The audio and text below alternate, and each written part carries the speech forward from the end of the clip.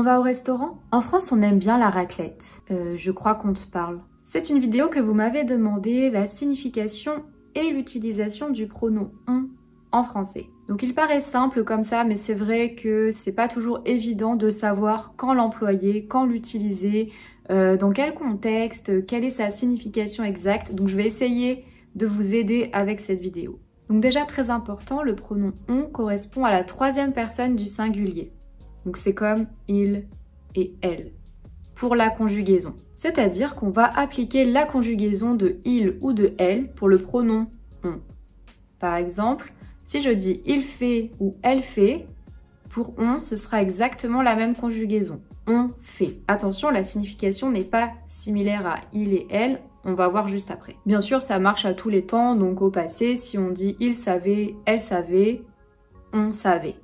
Même chose. Donc souvent, quand vous apprenez les conjugaisons, les premiers cours de français, les, pronoms, les premières fois que vous avez appris les pronoms, vous avez très certainement fait je, tu, il, elle, on, nous, vous, il, elle. Voilà, très important de se souvenir de ça. Première possibilité, le pronom on est très souvent utilisé à l'oral pour remplacer le pronom nous.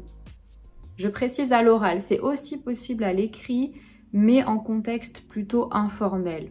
Donc c'est vrai que si vous voulez avoir l'air plus naturel en français, N'hésitez pas à utiliser on à la place de nous, toujours en contexte un petit peu plus informel. C'est pas que le nous est très formel, mais pour moi en tout cas j'ai l'impression qu'il met un petit peu de distance et il est beaucoup plus naturel d'utiliser on quand on parle avec des amis, la famille. Donc on va manger, on va au cinéma, qu'est-ce qu'on fait aujourd'hui? Voilà, c'est comme si on disait nous. Du coup si je dis nous irons au cinéma, puis nous irons au restaurant et enfin nous rentrerons à la maison, Comment diriez-vous en remplaçant nous par le pronom on?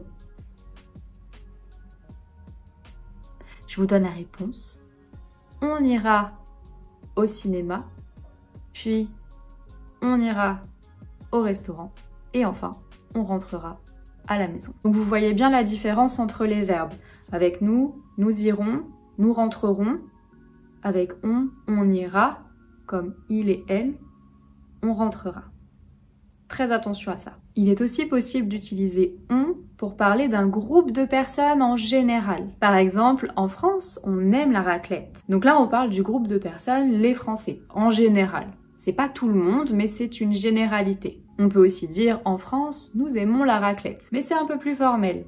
Donc encore une fois, la conjugaison est toujours la même que il et elle. Ça ne change pas. La troisième possibilité, c'est quand on parle d'une personne qui n'est pas défini. On ne sait pas exactement de qui on parle. Par exemple, je crois qu'on te parle, je crois qu'on t'appelle, j'ai entendu ton prénom.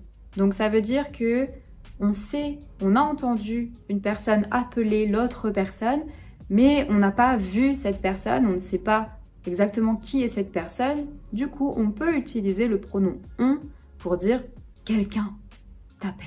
Je suis d'accord, c'est pas toujours facile de voir la différence et de l'utiliser de manière naturelle. C'est pour ça que ça va vous demander un petit peu de pratique, un petit peu de travail, des révisions, surtout la révision de la conjugaison. Hein. et du coup, pour terminer, je vais vous proposer un petit exercice, peut-être deux, tiens, on va faire deux exercices, ouais, deux petites activités pour vous, pour vous tester. Le premier exercice, je vais vous donner, comme tout à l'heure, une phrase avec le pronom nous et vous allez devoir transformer cette phrase avec le pronom on. Je vais vous laisser du temps, n'hésitez pas à faire pause, à revenir au début de la vidéo si c'est nécessaire et puis vous me direz dans les commentaires combien de réponses correctes vous avez obtenues. Et bien sûr, si cette vidéo vous plaît, si vous aimez le concept, si vous aimez euh, ce que je vous propose, n'hésitez pas à l'aimer, n'hésitez pas à vous abonner et à partager, ça me fait très plaisir, ça m'aide beaucoup. Donc, merci. Première phrase, nous habitons au Canada depuis deux ans. Nous habitons au Canada depuis deux ans. Comment ça ferait avec on? Nous habitons. Ça donnerait on habite au Canada depuis deux ans. On habite comme il habite, elle habite. Même conjugaison. Deuxième phrase, qu'est-ce que nous en savons? Qu'est-ce que nous en savons? Nous savons. Qu'est-ce que nous en savons? Donc, nous savons peut être remplacé par on sait. Attention au petit pronom en. Qu'est-ce qu'on en sait? On sait. Comme il sait, elle sait, on sait. Troisième phrase. Nous n'y croyons pas. Nous n'y croyons pas. Nous croyons. Donc si on remplace nous par on, on croit. Attention au pronom, on y croit. Négatif, on n'y croit pas. Nous n'y croyons pas, on n'y croit pas. Je bouge beaucoup avec les mains. Ok, combien avez-vous obtenu sur 3 Dites-moi dans les commentaires. Un deuxième petit exercice, cette fois-ci, vous devez trouver la signification de on dans les phrases que je vais vous donner. Vous allez me dire, est-ce que c'est nous? Est-ce que c'est une généralité? Ou est-ce que c'est une personne qu'on ne connaît pas, qui n'est pas définie? Première phrase.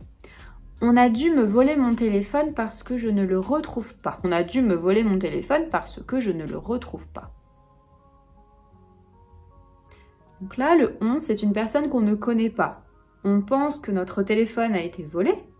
Et du coup, on dit, quelqu'un a volé mon téléphone. Deuxième phrase, on se retrouve à 18h on se retrouve à 18h.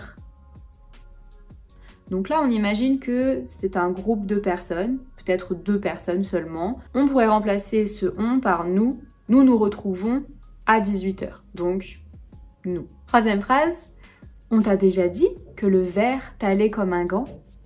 On t'a déjà dit que le verre t'allait comme un gant. Hmm. Là, c'est pas nous, c'est plutôt une personne qu'on ne connaît pas. Est-ce que quelqu'un t'a déjà dit que ça te va bien, le verre Est-ce qu'une personne, je ne sais pas, une personne, une personne, je ne sais pas, t'as déjà dit que ça t'allait bien, donc on ne connaît pas. 4. En Auvergne, on aime faire des randonnées. On aime faire des randonnées. Donc ici, ce serait plutôt une généralité parce qu'on dit en Auvergne, donc c'est un groupe de personnes. En général, on aime, nous aimons faire ce type d'activité. Et enfin, la dernière, qu'est-ce qu'on fait ce soir? Qu'est-ce qu'on fait ce soir? Vous avez compris, là c'est bien nous. Qu'est-ce que nous faisons ce soir? Qu'allons-nous faire ce soir? Un groupe de personnes, au moins deux personnes, nous. Combien de phrases avez-vous trouvé correctement sur les deux exercices? Donc ça fait 5 plus 3, ça fait 8 sur 8. Combien de points avez-vous eu? Dites-moi dans les commentaires. Et surtout, n'hésitez pas à me dire si vous avez des questions ou euh, des requêtes pour les prochaines vidéos. Encore une fois, si cette vidéo vous a plu, n'hésitez pas à vous abonner, à l'aimer, à la partager et à me retrouver sur mes autres réseaux sociaux. Et moi, je vous dis à très bientôt pour une prochaine vidéo.